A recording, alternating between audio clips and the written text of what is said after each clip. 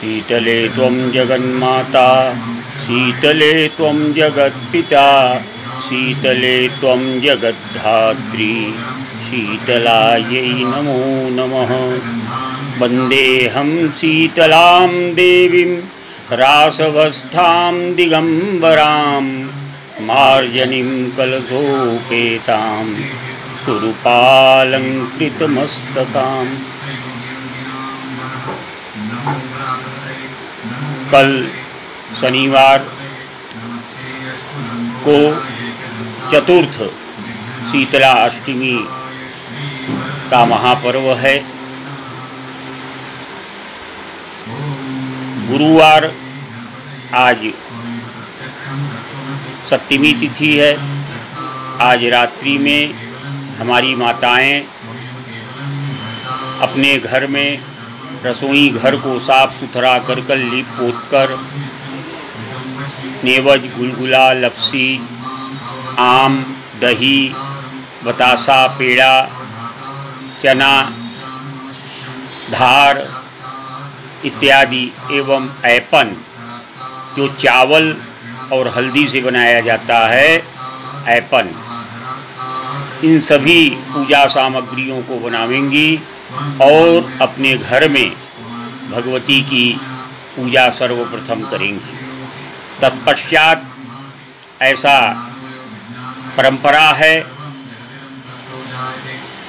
कि सप्तमात्रिका सिद्धपीठ श्री बड़ी शीतला माता माई धाम में जाकर वहाँ भगवती की पूजा अर्चना करने के बाद बटिया यानी धरती की पूजा करके, फिर अपने घर में, अपने घर के देवढ़ी की पूजा करके, तब उसके बाद अपने घर में जाती हैं और अपने पूरे परिवार के साथ बनाया हुआ भोग प्रसाद, जो कि बासी, बसियौरा, इसका नाम बसियौरा है, खाती हैं।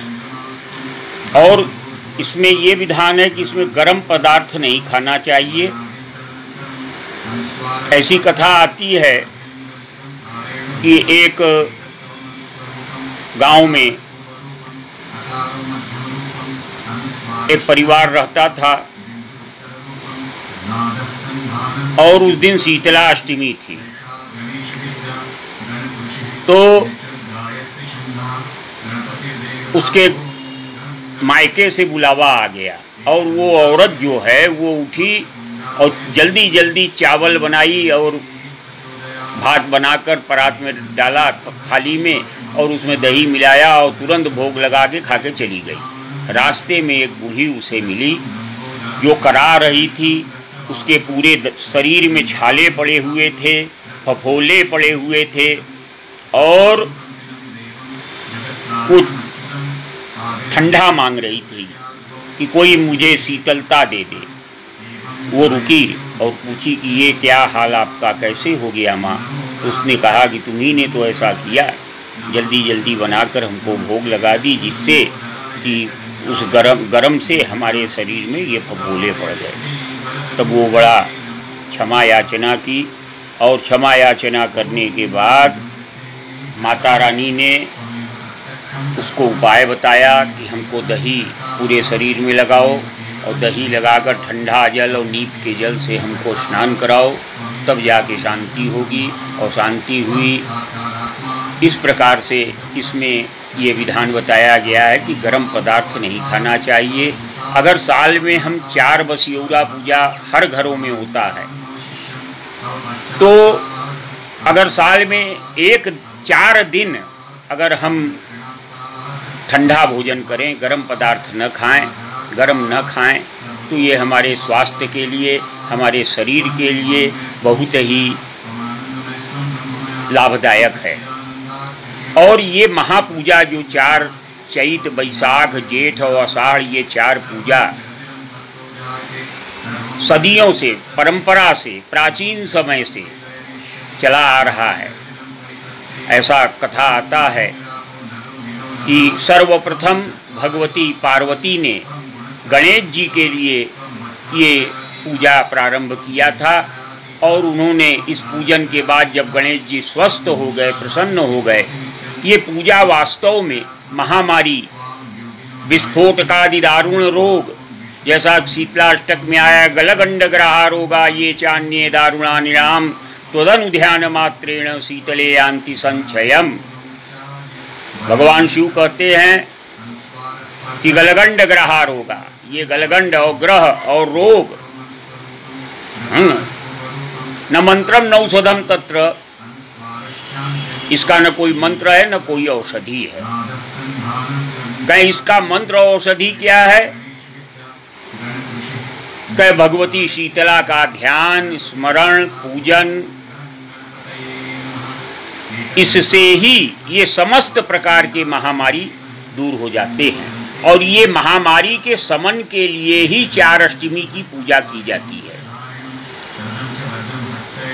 अपने बच्चों, अपने परिवार के निरोगित रहने के लिए हमारी माताएँ सदियों से परंपरा के अनुसार ये पूजन करती हैं। और कल ये वसीउड़ा पूजा है। हम समस्त काशीवासियों से विनम्र निवेदन करते हैं कि वो अपने घर में ही पूजा करें। क्योंकि इस वक्त महामारी का प्रकोप है और इसके चलते माता रानी का मंदिर बंद है।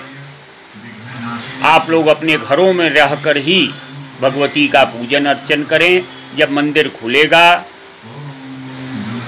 तब आप लोग माँ का दर्शन करेंगे। अन्यथा अपने घरों से कल पूजा के लिए मंदिर की ओर न जाएँ, अपने घर में ही रहकर पूजन करें, इसी में हम सब की भलाई है। यही माता रानी की इच्छा है।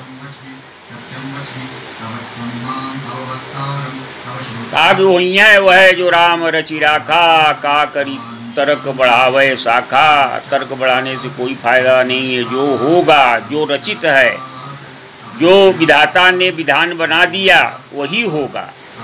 हमारा आपका यहाँ कुछ नहीं चलेगा। ये विधि का विधान है। एक समय ऐसा भी ये है कि हम अपने इष्ट देव के यहाँ नहीं जा सकते। हम अपने इष्ट के पास नहीं जा सकते। हमारे सभी देवी देवता अपने को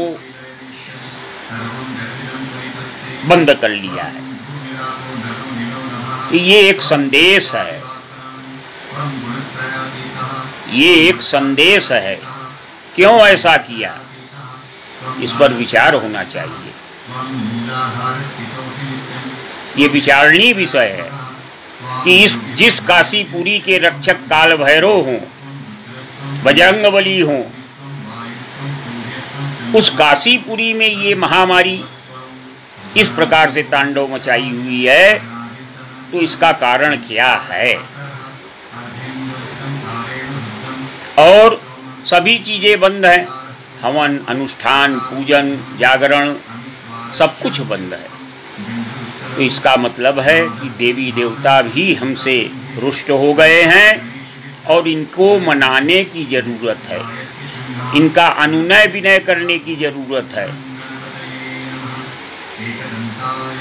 तभी इस महासंकट से हम लोग उबर पाएँगे। पुनः शीतला अष्टमी की हम समस्त काशीवासी एवं देशवासियों को मंगल शुभकामना देते हैं और भगवती से यही प्रार्थना करते हैं कि हम सब की वो रक्षा करें, इस महामारी से बचावें और जल्द से जल्द इस महामारी को दूर भगावें। पुनः आपसे करवत्र प्रार्थना है कि आप कल शनिवार श्री शीतला अष्टमी के दिन अपने घर में ही रहकर पूजन करें घर के बाहर मंदिर में जाने का कष्ट न करें। इसी में हम सबकी भलाई है। जय माता की जय भवानी। हम नहीं बोलेगी बात। सवालों की भीड़ से घिरे आपको चाहिए जवाब तो देखिए हमारे साथ।